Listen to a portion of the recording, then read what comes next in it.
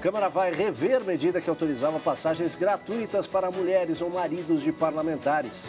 Procurador-geral garante quem deve vai pagar no esquema de propinas da Petrobras. Suspensas mais de 20 festas estudantis depois da morte de um universitário por coma alcoólico. Vídeo sobre poluição na China tem mais de 100 milhões de acessos em dois dias. Um mergulho no mar de Galápagos, em meio à rica fauna do arquipélago, é uma das novas aventuras do Google. Será que o pressentimento existe? Tem gente que acha que sim. Segui minha, minha intuição. Operação Lava Jato chega ao esporte e pode prejudicar a conclusão das obras da Olimpíada do Rio de Janeiro.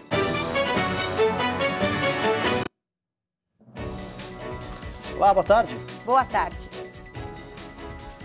Hoje é o Dia Nacional de Combate à Pirataria. O Brasil é campeão mundial no assunto.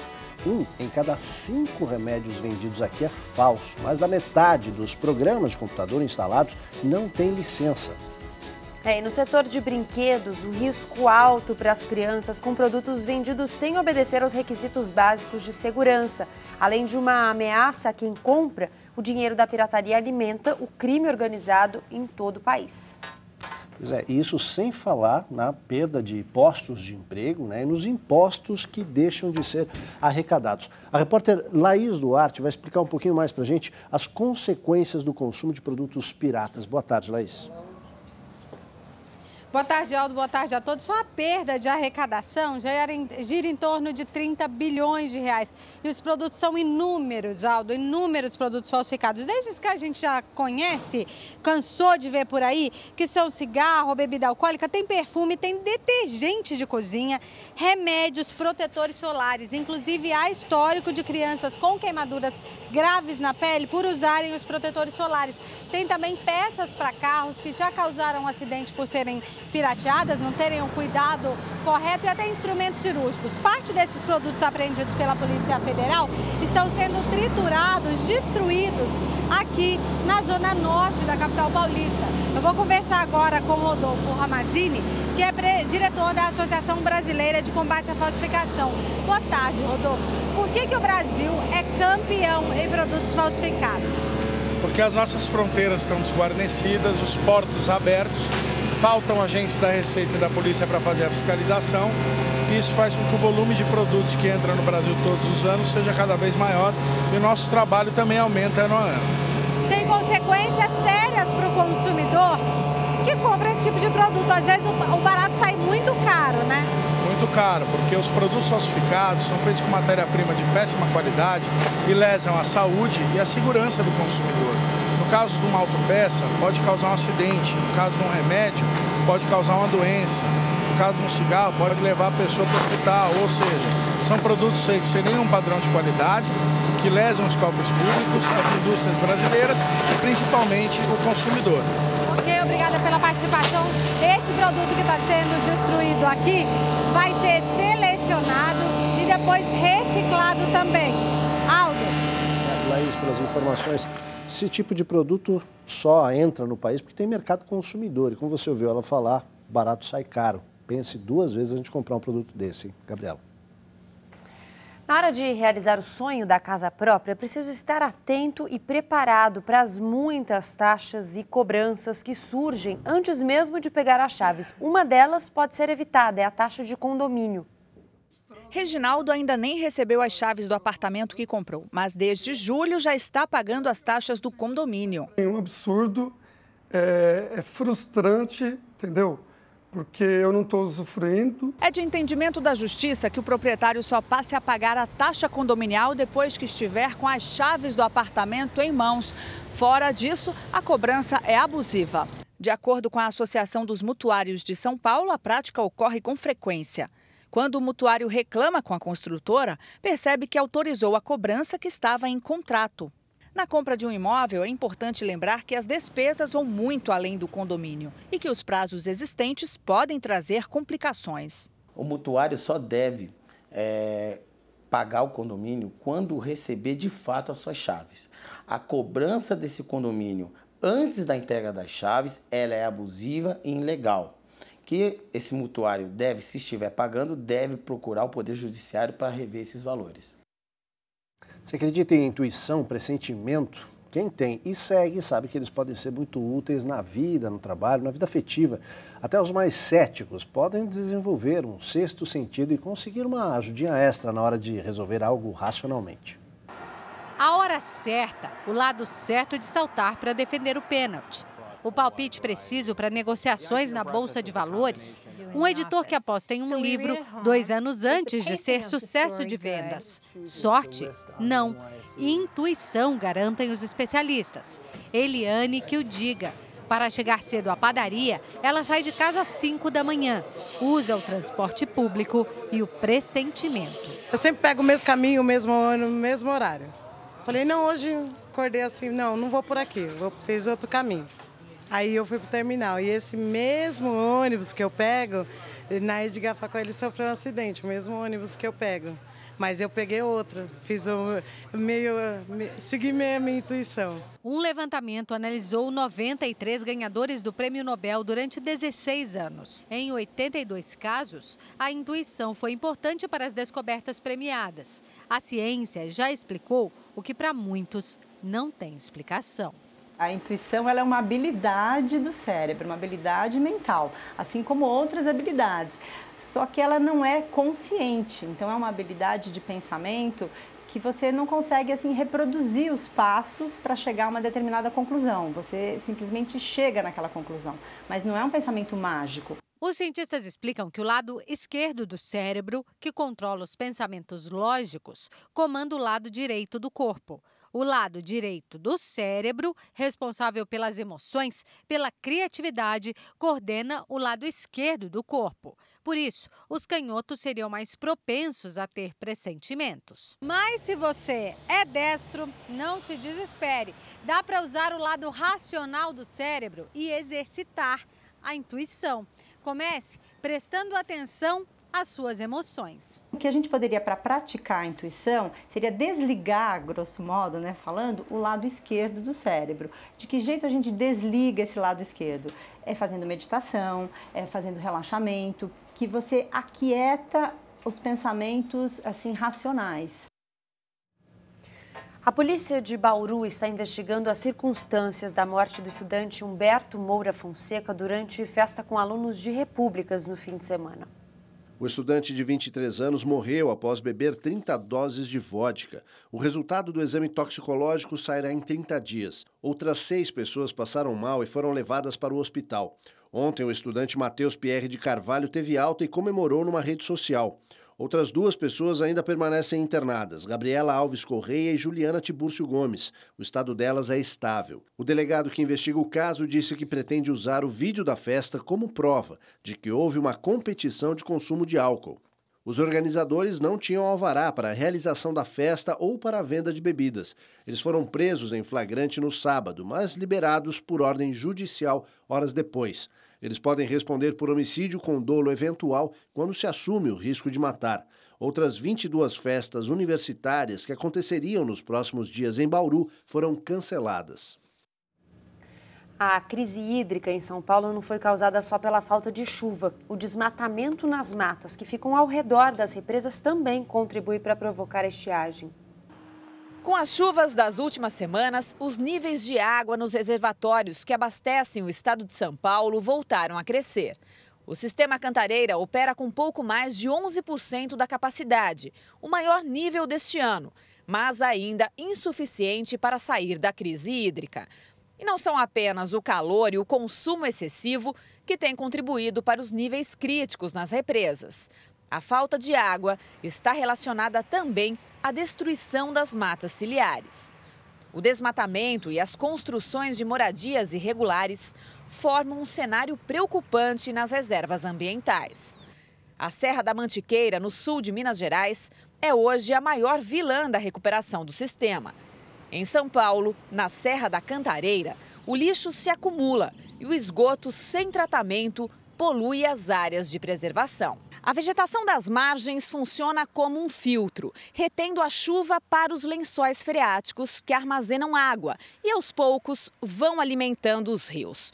Quando a vegetação é destruída, acontece um grave processo de erosão que impede que as chuvas nas regiões serranas cheguem aos reservatórios. As áreas desmatadas, elas acabam assoreando os rios e os reservatórios, ou seja, a gente perde a capacidade de volume de retenção de água. A Mata Atlântica é responsável não só por manter o nosso microclima, mas por segurar o ciclo hidrológico nas regiões. Segundo o monitoramento da Fundação SOS Mata Atlântica, a região do sistema Cantareira tem apenas 21,5% da cobertura vegetal nativa. Em todo o Brasil, restaram 16 milhões e meio de hectares de Mata Atlântica, ou seja, 12,5% do total de 130 milhões de hectares do domínio original. Um campo de futebol de Mata Atlântica, de Floresta Atlântica, é responsável por nos ofertar 10 metros cúbicos de água, 10 mil litros de água por ano. Quando a gente desmata, as nascentes vão sumindo, vão desaparecendo. Então não adianta nada combater o desmatamento em São Paulo e continuar tendo desmatamento em Minas, no Espírito Santo, nos outros estados vizinhos que compõem o mesmo bioma. Você está nessa lista aqui que a gente vai falar, não? Eu não posso contar. Ah, segredo, tá bom. Segredo. A lista é a seguinte, olha, o número de bilionários brasileiros diminuiu pela primeira vez desde que a lista começou a ser feita há sete anos. Passou de 65 para 54. Além dos bancos, duas áreas que concentram um grande número de super ricos, a agricultura e as fábricas de cerveja. 54 brasileiros que integram o Clube dos Bilhões, 13 são banqueiros. Sete estão no setor agrícola e três no ramo das cervejas. Entre os banqueiros, a maior fortuna está com Joseph Safra, seguindo-se os irmãos Moreira Salles, herdeiros do Unibanco, que se uniu ao Itaú. Na agricultura, a maior fortuna pertence a Blairo Maggi, maior produtor de soja do mundo e senador pelo PR do Mato Grosso. No setor de comunicações, além da família Marinho das organizações Globo, também faz parte do Clube dos Bilionários o bispo Edir Macedo, da Rede Record e da Igreja Universal. No mundo, a lista continua sendo liderada por Bill Gates, da Microsoft, seguido pelo mexicano Carlos Slim, dono de um conglomerado que vai do petróleo à telefonia. Mark Zuckerberg, um dos fundadores do Facebook, subiu cinco posições em apenas um ano e agora integra o clube ainda mais fechado dos 20 homens mais ricos do mundo, ocupando o 16º lugar, com uma fortuna em torno de 40 bilhões de dólares. Olha, no mundo todo, o número de bilionários é de cerca de 1.800, a maior parte dos Estados Unidos. Em seguida, vem a China, que registra o maior crescimento das grandes fortunas. A gente falou aí também, né, o setor de cervejas. São as cervejas que patrocinam essas festas onde morreu aquele estudante em Bauru aí, outros tantos que também acabam exagerando. Vamos mudar de assunto? Para dar mais segurança ao pedestre, está sendo implantada em alguns cruzamentos da cidade de São Paulo uma sinalização diferenciada. repórter Lilian Coelho tem os detalhes para a gente. Boa tarde, Lilian.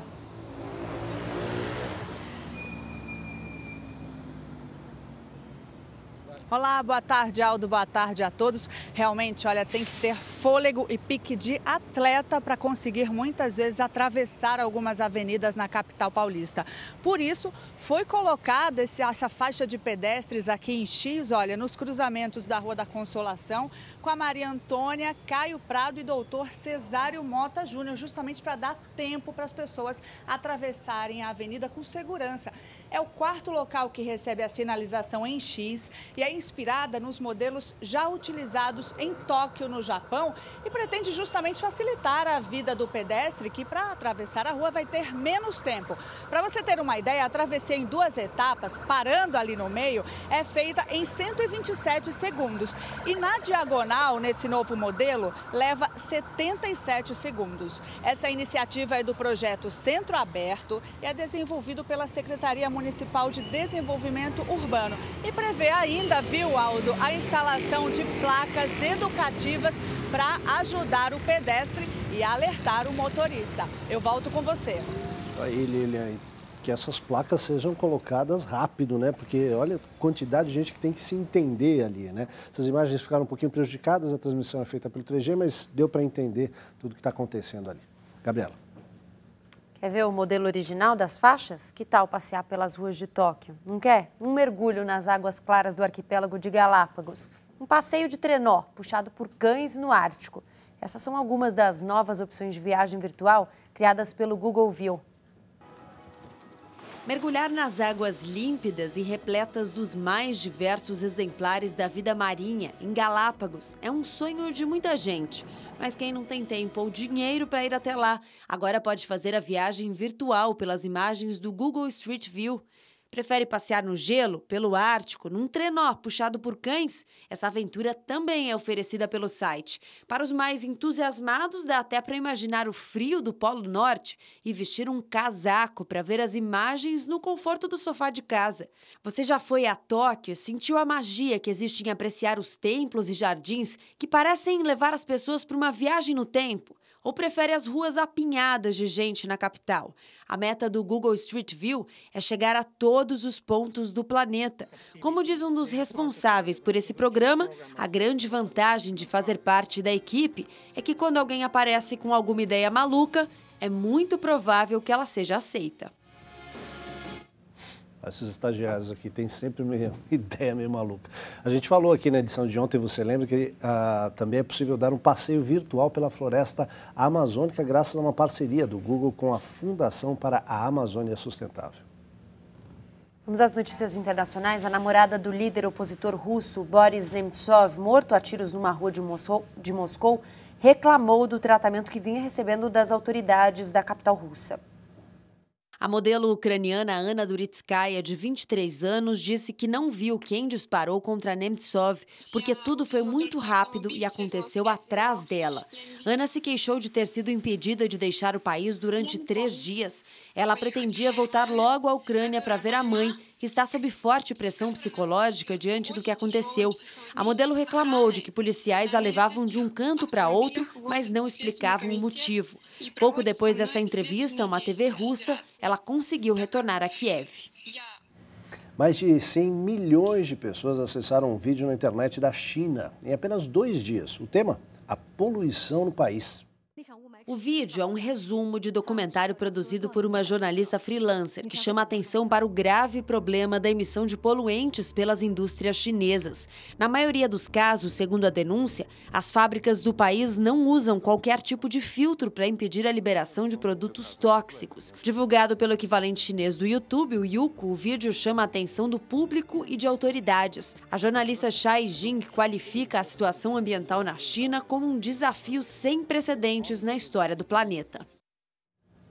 E olha, ainda sobre a China, o mercado de luxo do país encolhe pela primeira vez em anos. É o resultado de uma forte campanha anticorrupção feita pelo governo do país. Ao assumir a presidência da China, uma das promessas de Xi Jinping foi combater a corrupção dentro do Partido Comunista. O governante prometeu perseguir aqueles que tentassem corromper e os que aceitassem ser corrompidos.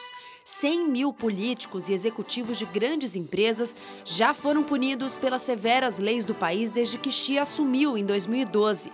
Alguns condenados à morte.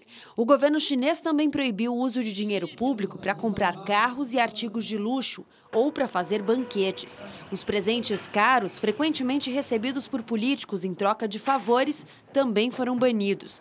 Marcas de bebidas alcoólicas e charutos foram as primeiras a sentir o impacto dessa campanha anticorrupção mas grandes companhias internacionais também foram afetadas. As de automóveis, por exemplo. O governo proibiu órgãos oficiais de comprarem carros importados. Agora, só marcas chinesas. O resultado é que a indústria do luxo na China registrou um crescimento negativo, depois de quase uma década de crescimento na casa de dois dígitos. Campanha dessa ia bem aqui, né? Mais de 3 mil pessoas precisaram deixar as casas no Chile por conta da erupção do vulcão Villarrica, no sul do país.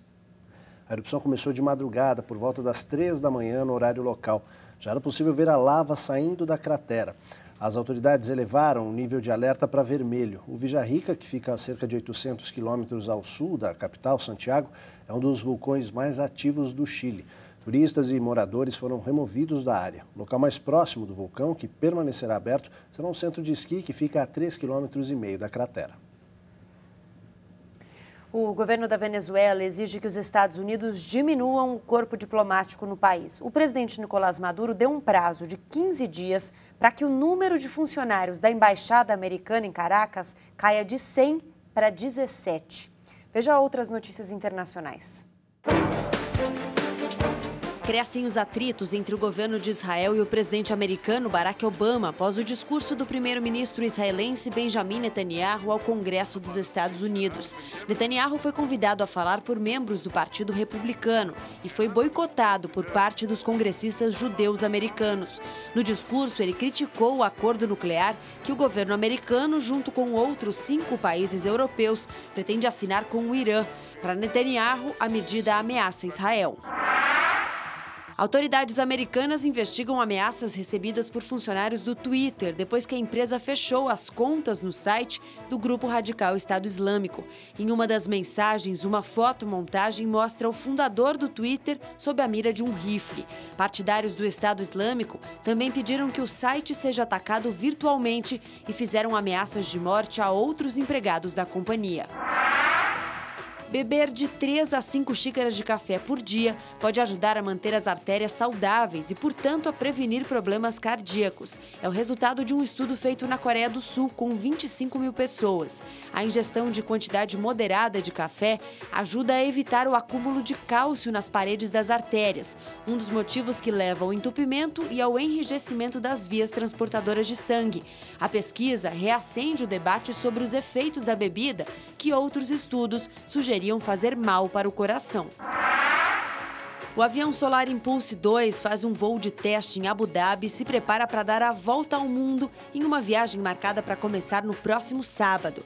A aeronave funciona exclusivamente a partir de 17 mil células solares que alimentam os quatro motores elétricos. Portanto, o clima precisa estar favorável para que ela consiga levantar voo. A viagem inédita terá 35 mil quilômetros e deve demorar cinco meses para ser concluída. O zoológico de San Diego, na Califórnia, tem 130 novos mini moradores.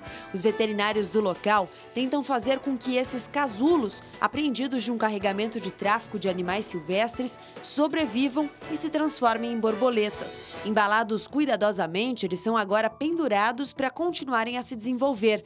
As futuras borboletas são de uma espécie rara, conhecida popularmente como asa de pássaro.